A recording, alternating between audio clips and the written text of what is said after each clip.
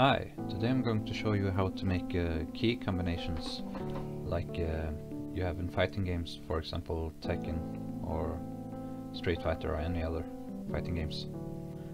So all I've done here is made an active object and made it white. I'm just going to color uh, the object when we hit the right combination because um, I don't want to deal with all the sprites and stuff just for this uh, demonstration. So we need a string, let's call this combo and um, let's add a string here to uh, to make it easier for us to see what's going on.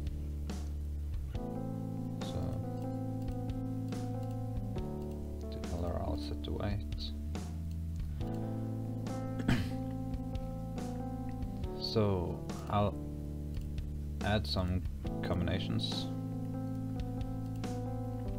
We'll have um, say green. If you hit this combination then it will turn green. Red, blue, let's start with those. Uh, so the first thing you have to do is upon pressing key, if uh, I'm just going to use the arrow keys for the combinations. You can use whatever you want, but uh, you have to make sure you uh, write the right things in in the strings that uh, we're going to use. So if I press the right arrow, I'm going to set its um, I'm going to set its string combo to combo plus right and have a space here. It makes it uh, easier to just uh, copy the code afterwards and add more add more co uh, combinations. So I'll do the same with the left. I'll say just left and the space is already here. So for up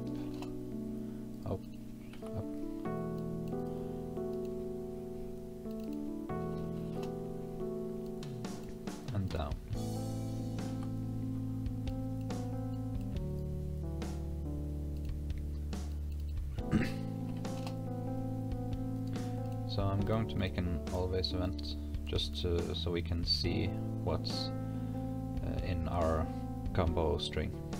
So I'll change the alterable string to its combo string.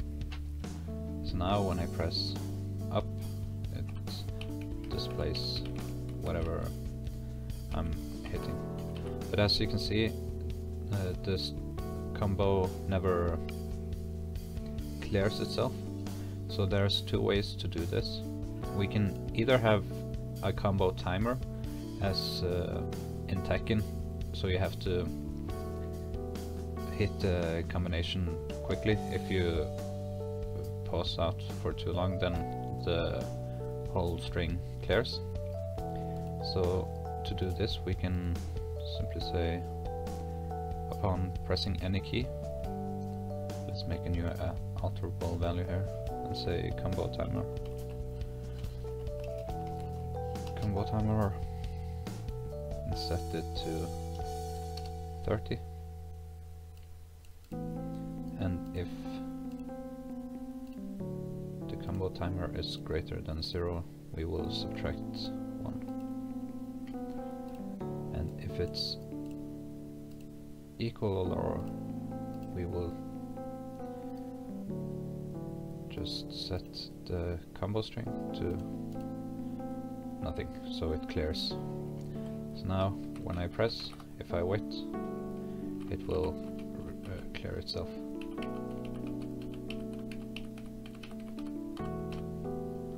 So you don't have a lot of time to press the combination. the second way to do this is uh, that if the if the length of the string exceeds a certain value, then we will remove some of the string. so the way to do this is um, we will say if the string combo from uh, its wait we have to compare to general values. If the length it's here length this is for strings. So if the length of this uh, combo string is greater than 20 then we will set the will set the combo string to uh, then we press right here. And set uh, the uh, combo string in here and say 20 so this will pick the letters from right to left so the last thing you put in will stay. The last 20 characters of the string will remain. So let's test this out. So um, so 20 might be a little low. We could al also do this just replace it by always and set the combo to right? It, it will do the same thing actually. So we can just increase this to say 60 so we can have a longer uh, longer combination. So now let's add the combinations. So for green, I want to say up, down, down. And remember to put the space in here because uh, uh, we always put uh, a space after the the text so we have to do the same here or else it won't work and for red, I'll say right, right, and space. And for blue, I'll say up, down, left, right, and space. So now we need to check if the combination is equal to uh, these combos, these different combos.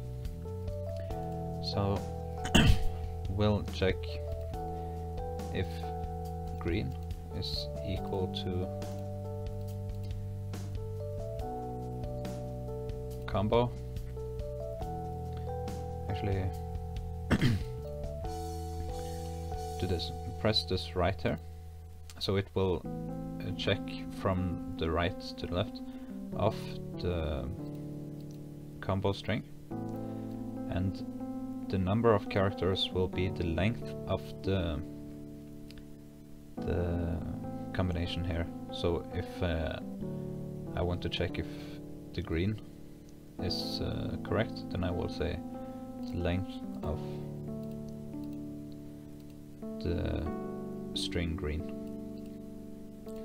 So now if this is true then I will set its uh,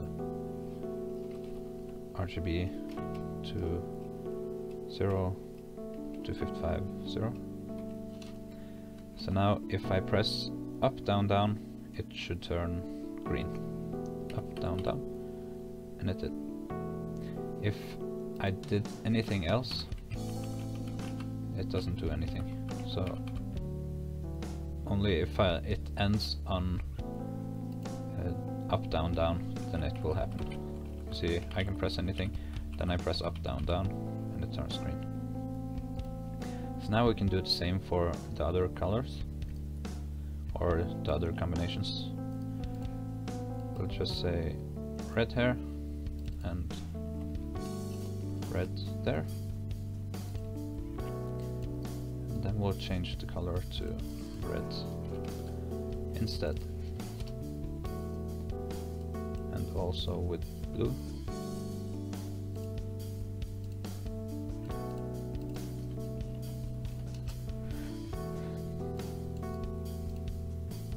Then we'll change the color to blue.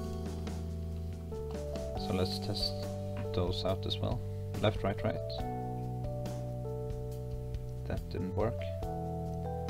Up, down, left, right. That didn't work either. So something is wrong. Okay, so I found found a mistake here. Uh, I just misspell misspelled this.